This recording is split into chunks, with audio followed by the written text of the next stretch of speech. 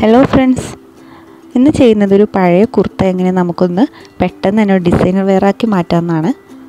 അപ്പോൾ അതിന് വേണ്ടി ഞാൻ പ്ലെയിൻ ആയിട്ടുള്ളൊരു കുർത്ത എടുത്തിട്ടുണ്ട്.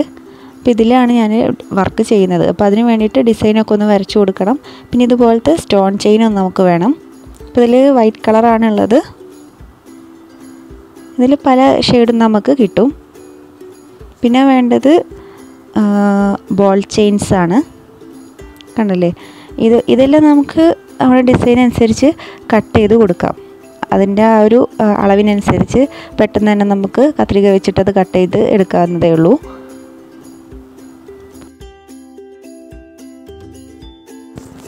ഇതിൽ ഞാൻ ഈ ഒരു ഫാബ്രിക് പെൻസിൽ വെച്ചിട്ട് ഒരു ചതുരം വരച്ചു കൊടുക്കുകയാണ്.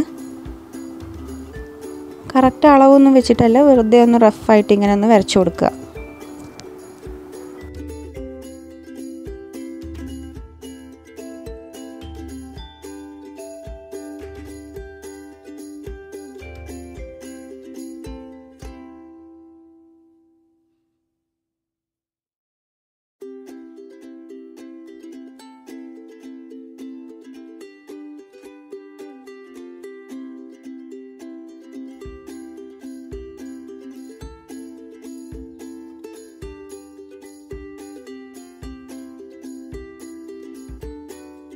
ഇങ്ങനെ വരച്ചിട്ടുണ്ട്. ഇനി ഈ ഒരു ഗമ്മ് വെച്ചിട്ട് ഈ സ്റ്റോൺ ചെയിൻ നമ്മൾ ഇതിലൊന്ന് ഒട്ടിച്ചു കൊടുക്കുകയാണ്. ഈ വരച്ച ലൈനിൽ കൂടി ഒട്ടിച്ചു കൊടുക്കാം. അപ്പോൾ അതിനനുസരിച്ച് ആദ്യം ഒന്ന് ആ ഒരു അളവിൽ കട്ട് ചെയ്തെടുക്കുക. ഈ ചെയിന് കട്ട് ചെയ്തെടുക്കണം.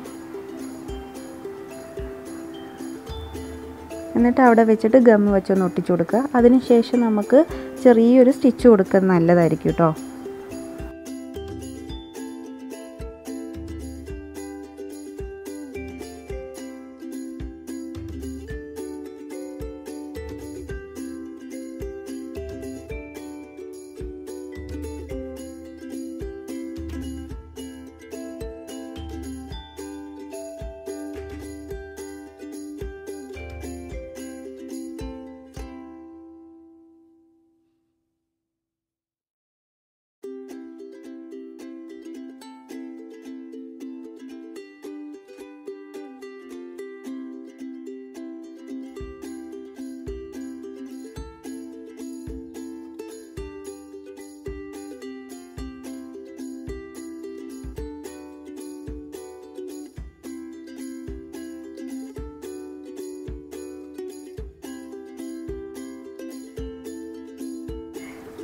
ഇപ്പോൾ ഈ ഒരു സ്റ്റോൺ ചെയിനൊക്കെ വെച്ചിട്ട് ഈ ചതുരം കംപ്ലീറ്റ് ചെയ്തിട്ടുണ്ട്. ഇനി ഇതേപോലെ തന്നെ ഈ ബോൾ ചെയിൻസും കട്ട് ചെയ്തിട്ട് അതിന്റെ ചുറ്റിലുമായിട്ട് വെച്ച് കൊടുക്കാം.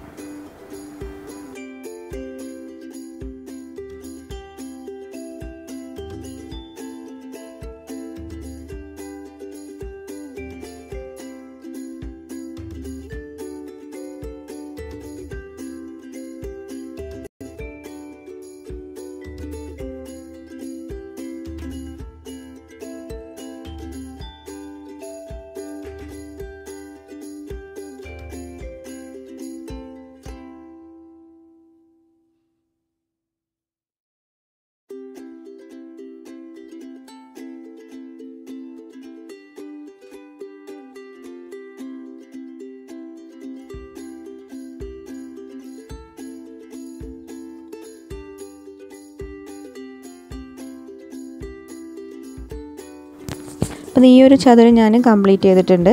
അപ്പോൾ ആ ഒരു സ്റ്റോൺ ചെയിന്റെ രണ്ട് സൈഡിലുമായിട്ടാണ് ഞാൻ ബോൾ ചെയിൻസ് കട്ട് ചെയ്ത് കൊടുത്തിട്ടുള്ളത്. അത് കട്ട് ചെയ്യാതെയും ബോൾ ചെയിൻസ് കട്ട് ചെയ്യേണ്ട ആവശ്യമില്ല. എന്നാലും ജസ്റ്റ് ഒരു ഐഡിയ കിട്ടാൻ വേണ്ടിയിട്ട് ഞാൻ കട്ട് ചെയ്ത് കാണിച്ചതാണ്. കട്ട് ചെയ്യാതെ നമുക്കിങ്ങനെ ചുറ്റി കൊടുത്താലും മതിയാവും. പിന്നെ അതൊന്ന് ഉണങ്ങി കഴിഞ്ഞതിന് ശേഷം നമുക്ക് സൂചി നൂലും വെച്ചിട്ടൊന്ന് തുന്നി കൊടുക്കുക.